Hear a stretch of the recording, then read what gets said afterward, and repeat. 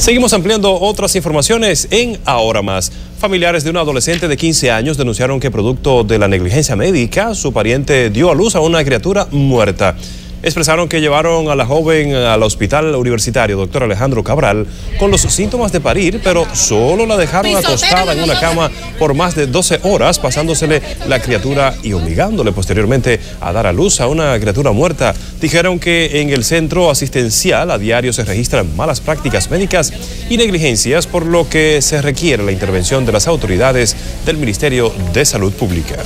Ella estaba con el niño arriba, que no le bajaba, que mandaban a cesárea, y no le hicieron la cesárea esperando que ella para cuando ella quisiera.